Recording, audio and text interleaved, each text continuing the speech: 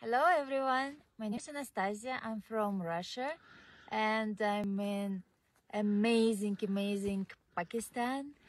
Um, it's blissful nature, um, mountains and trees and um, waterfalls and uh, I'm really, really excited about people whom I met on my way and um, we slept in the beautiful um, cottage houses with a bonfire and uh, we eat uh, local food freshly made especially for us and um, I'm really happy to experience the spirit of Pakistan um, in a safe way and uh, making lifelong memories.